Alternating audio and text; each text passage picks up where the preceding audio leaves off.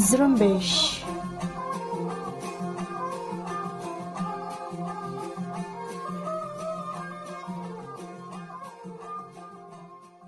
ये रेडियो जुम्बिश उर्दू की आवाज़ है। आज 30 अगस्त, इतवार का दिन और साल 2020 है। और आपका मेज़बान हुमेरा बलोच आपकी खिदमत में हाजिर है।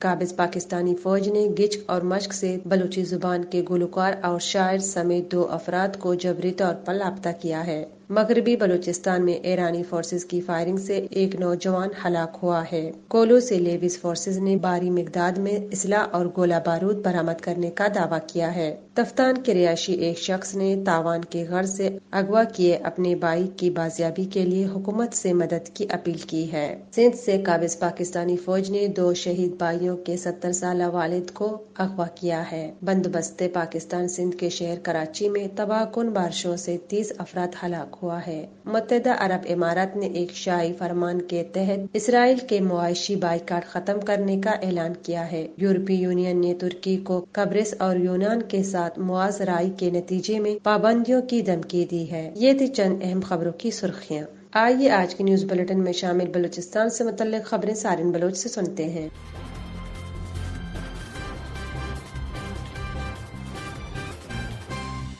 काबिज पाकिस्तानी फोर्सेज ने पंजगुर के इलाके गिच और के इलाके मशके से दो अफराद को जबरी तौर पर लापता किया है। रेडियो जुम्बिश को मिलने वाली इतलात के मुताबिक जुमे के रोज काबिज पाकिस्तानी फोर्सेज ने बलोची जबान के अमीर बख्श नामी शायर और गुलकार को गिरफ़्तार करके जबरी तौर पर लापता कर दिया है। दूसरी तरफ़ पाँच रोज कबल काबिज पाकिस्तानी फौज ने मशके के इलाके परवार में एक घर पर छापा मार कर एक शख्स को हिरा हिरासत में लेने के बाद नामालूम मकाम मुंतकिल कर दिया, जो ताहा लापता है। लापता किए गए शख्स की शनाख्त बयामदुर वलद गुलाम नबी के नाम से हुई है।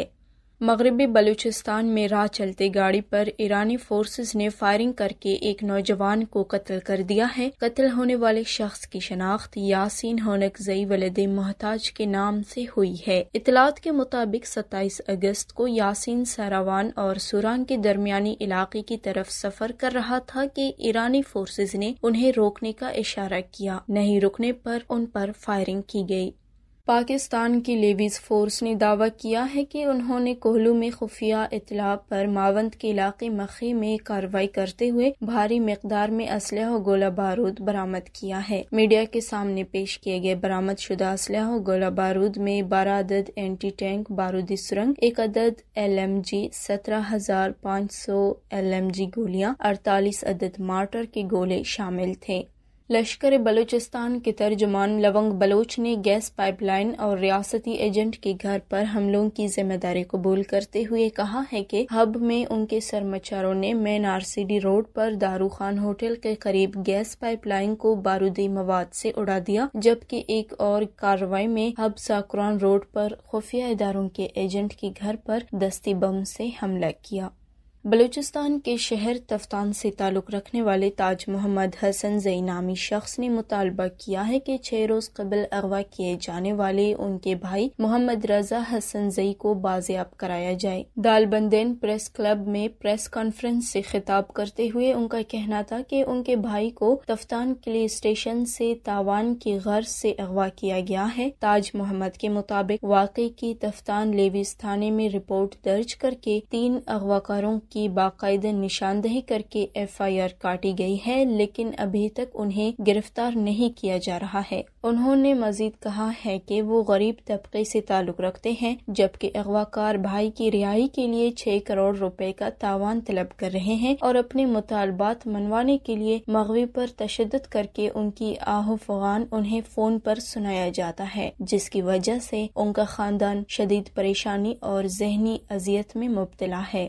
बलोच रिपब्लिकन पार्टी के मरकजी तर्जुमान शेर मोहम्मद बुगटी ने शहीद नवाब अकबर खान बुगटी को खराज अकीदत पेश करते हुए कहा है कि शहीद आज़म की चौदहवीं बरसी की मुनासबत से जर्मनी के शहर फ्रैंकफर्ट, बरतानिया के शहर लंदन, जनूबी कोरिया के शहर बुसान, ग्रीस के दारकूमत एथेंस में सेमिनारों का इनका किया गया और शहदा तरातानी को उनकी गैर मामूल और तारीखी कुर्बानी पर खराज तहसीन पेश किया गया। शेर मोहम्मद बुगटी का मजीद कहना था कि शहीद नवाब अकबर खान बुगटी और हज़ारों शहदा की दी गई कुर्बानियाँ कभी रायगान नहीं जाएगी। उनके ख्वाब को हकीकत में बदलने के लिए आज हर बाशूर नौजवान कमर बस्ता है और वो अपने हकूक के हवाले से शूर रखते हैं। यही वजह है कि रियासती इदारे उन्हें अपने रास्ते से हटाने के लिए मुख्तलिफ़ तरीकों से निशाना बना रहे हैं, जिसकी ताज़ा मिसाल राजनपुर में पाँच बलोच नौजवानों और हयात बलोच की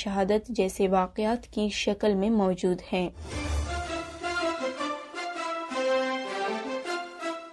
सिंध से काबिज पाकिस्तानी फौज ने एक सत्तर साल बुज़ुर्ग शख्स को जबरी तौर पर लापता कर दिया है। इस हवाले से voice for missing person of Sindh के कन्वीनियर सूरत लोहार ने सोशल मीडिया पर अपने एक पोस्ट में कहा है कि कश्मीर ज़िले के बडानी शहर से शहीद जामन शाह और शहीद परियल शाह के सत्तर साल बुज़ुर्ग वालिद साहेब सैयद बच्चल शाह गुजश्ता रोज पाकिस्तानी एजेंसियों के हाथों जबरी तौर पर लापता किए गए हैं हैं। बयान में voice for missing person of Sindh ने पाकिस्तानी रियासत के इस जारहाना अमल की शदीद अल्फाज में मजम्मत करते हुए ऐलान किया है कि यकम सितंबर साल 2020 को चाचा बच्चल शाह की जबरी गुमशदगी समेत तमाम लापता अफराद की बाजियाबी के लिए हैदराबाद में भरपूर एहतजाज किया जाएगा।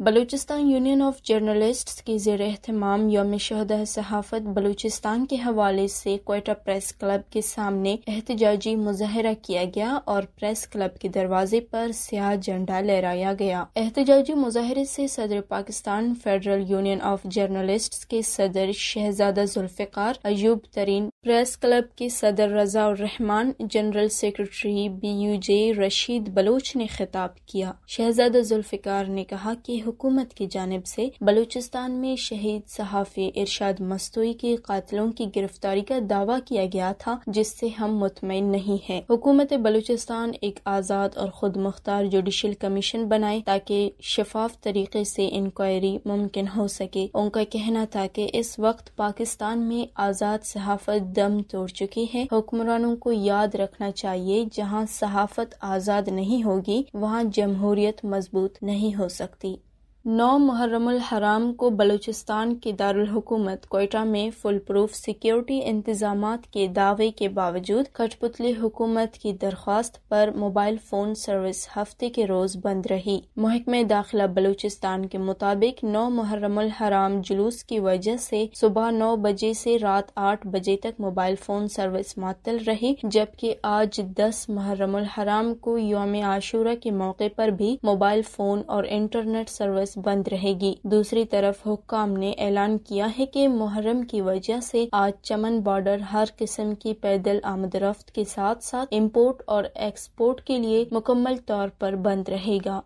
प्रोविंशियल डिजास्टर मैनेजमेंट अथॉरिटी ने रवा माह के दौरान बलूचिस्तान में बारिशों से होने वाले नुकसान की रिपोर्ट जारी करते हुए कहा कि बलूचिस्तान के तेरह अजलास ज़्यादा मुतासर हुए। उन्नीस अफराद हलाक और तेरह जख्मी हुए। रिपोर्ट के मुताबिक बारिशों से सबसे ज़्यादा तीन हलाकतें कच्ची में हुई, जबकि डेरा बुगटी खुजदार लसबेला, बारकान, योब और झलमक्सी में दो दो और जाफराबाद, कोहलू, केच और चागी में एक एक शख्स बारिशों के सबब हलाक हो गए। इस दौरान बारिशों से आठ सौ सतासी मकान मुकम्मल तौर पर तबाह, जबकि अठानवे मकानात को जुजवी नुकसान पहुँचा।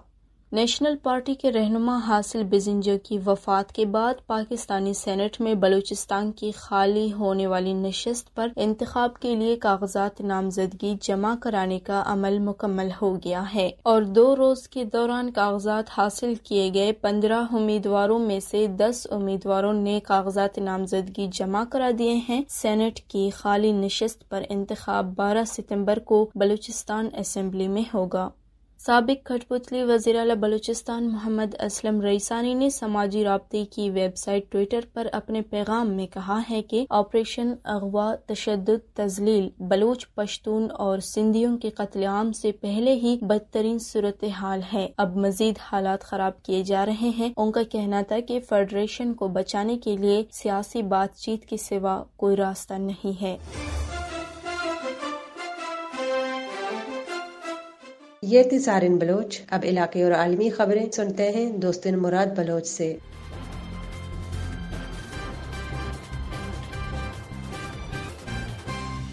बंदोबस्त पाकिस्तान सिंध के मरकजी शहर कराची में तूफानी बारिशों ने तबाही मचा दी है, जहाँ दो दिन में मुख्तलिफ़ हादसा के दौरान तीस अफराद जान की बाजी हार गए हैं, जबकि बारिश खत्म होने के दूसरे दिन भी ग्यारह अफराद की जिंदगियाँ चली गई हैं। इतलात के मुताबिक बेशतर अफराद मुख्तलिफ़ मकाम पर खड़े पानी में डूब कर हलाक हो गए हैं। अफगान तालिबान ने कहा है कि बैन अफगान मुजात के लिए फैसला साजी का कुली इख्तियार 21 रुकनी मुजाकरती टीम को दिया गया है। इस हवाले से अफगान तालिबान का कहना था कि मरकजी रहबरी शूरा से पैंसठ फ़ीसद अरकान को मुजाकराती टीम का हिस्सा बनाने का मकसद टीम को बाख्तियार बनाना है, ताकि अमन मुजाकर दुरुस्त सिमत में आगे बढ़ सके। वॉइस ऑफ़ अमरीका से बातचीत करते हुए मुजाकराती टीम के सरबरा शेर मोहम्मद अब्बास सतानक जई ने कहा कि तालिबान क्यादत ने इस मुजाकराती टीम को तमाम मामला को अपने तौर पर हल करने का इख्तियार दिया है, ताकि अमन की राह में किसी किसी किस्म की ताखिर ना हो। मुतहदा अरब इमारात के सदर शेख खलीफा बिन जायद आल नयान की तरफ़ से जारी होने वाले एक शाही फरमान में इसराइल के साथ माशी बाइकाट खत्म करने का ऐलान किया गया है। मुतहदा अरब इमारात की वाम नामी खबर रसा एजेंसी के मुताबिक शाही फरमान के तहत इमारात की इनफरादी शख्सियात और कंपनियों को इसराइली इदारों के साथ मुआदे करने की इजाज़त होगी। इसके अलावा दोनों ममालिक के दरमियान तजारती ताल्लुक भी कायम होंगे। होंगे तुर्की में बाएँ बाजू की कलदम पार्टी से ताल्लुक का इल्ज़ाम आयद होने के बाद इंसाफ के लिए भूख हड़ताल करने वाली एक तुर्क वकील 238 रोज बाद इस्तंबुल के एक अस्पताल में जान की बाजी हार गई है। बाएँ बाजू के वकला की एक तंजीम पीपल्स लॉ ब्यूरो ने ट्विटर पर जारी अपने एक बयान में कहा है कि मुनसिफाना मुकदमे के मुतालबे के लिए दो सौ अड़तीस दिन से भूख हड़ताल पर रहने वाली एब्रियो तीतमिक शहीद हो गई। तीतमिक एक बाएँ दाएँ बाजू की तंजीम कंटेम्प्रेरी लॉयर्स एसोसिएशन की रुकन थी। वकला की इस तंजीम पर इल्ज़ाम है कि इसके कलदम शिद्दत पसंद group Revolutionary People's Liberation Party Front से करीबी ताल्लुक थे। अमेरिका के सदर डोनाल्ड ट्रंप ने अपने अहदे की दूसरी मुद्दत के लिए रिपब्लिकन पार्टी के सदारती उम्मीदवार के तौर पर नामजदगी कबूल करते हुए अपने सियासी मुखालिफों को कड़ी तनकीद का निशाना बनाया है। जुमेरात को रिपब्लिकन कन्वेंशन के चौथे और आखिरी रोज व्हाइट हाउस से अपने खिताब में सदर ट्रंप ने नवंबर के सदारती इंतबात को अमरीकी तारीख का सबसे अहम इलेक्शन करार देते हुए कहा कि नवंबर का इलेक्शन ये फैसला करेगा कि हम अमरीकी तर्ज हयात चाहते हैं या किसी इंतहा पसंद तहरीक के हाथों सब कुछ तबाह होता हुआ देखना चाहते हैं। सदर ट्रंप ने कहा कि उनके सियासी मुखालिफिन इंतहाई बाएँ बाजू के नजरियात रखते हैं, वो अमरीका में अफरा तफरी फैलाकर मुल्क को तबाह करना चाहते हैं। यूरोपीय यूनियन ने तुर्की को मशरकी बहिर रूम में यूनान और कब्रस से कशीदगी में कमी तक सख्त माशी इकदाम समेत नई पाबंदियाँ आयद करने की धमकी दी है। आलमी मीडिया के मुताबिक यूरोपीय यूनियन के आला सतह के सिफारतकार जोसेफ बोरियल ने कहा है कि बिलाक मुजाकरात के लिए संजीदा मौाक़े फराहम करना चाहता है, लेकिन इस तनाज़े में अपने रुकन ममालिक यूनान और कब्रस की हिमायत में साबित कदम रहेगा।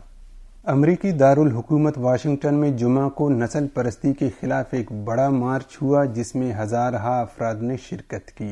ये मार्च अमरीका में नस्ली बराबरी के लिए जिदोजहद करने वाले रहनमा मार्टन लूथर किंग की तरफ़ से उन्नीस में किए गए तारीखी खिताब आई हैव अ ड्रीम की सालगिरह के मौके पर मुनद किया गया। इस यादगार खिताब की सतावनवी सालगिरह एक ऐसे मौके पर मनाई गई, जब अमरीका में नस्ल परस्ती के खिलाफ एक बार फिर गम गुस्से की लहर जारी है।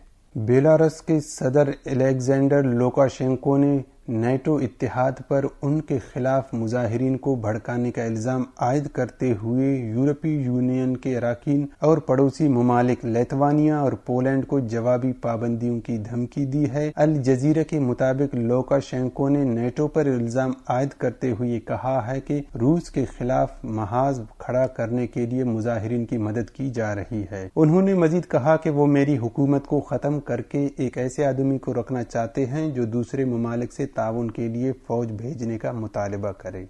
अमेरिका में समंदरी तूफ़ान लारा ने बड़े पैमाने पर तबाही मचाई है, जिसके नतीजे में कम अज कम छह अफराद हलाक और मुतद जख्मी, जबकि हज़ारों बेघर हो गए हैं। आलमी मीडिया के मुताबिक समंदरी तूफ़ान लारा अमेरिका की रियासत लोजियाना के साहिली इलाके से टकरा गया है, जहाँ 220 किलोमीटर फ़ी घंटे की रफ्तार से चलने वाले हवाओं ने अपने रास्ते में आने वाली हर चीज़ को तहस नहस करके रख दिया है। लोजियाना के बाद समंदरी तूफ़ान का रुख अब अब रियासत अरकन साउथ की तरफ़ है। इसी के साथ ही आज की न्यूज़ बुलेटिन का अख्ताम होता है। अपने मेजबान हुमेरा बलोच को इजाज़त दीजिए और मजीद खबरों के लिए विज़िट करते रहें हमारे वेबसाइट जुरम्बिश डॉट कॉम।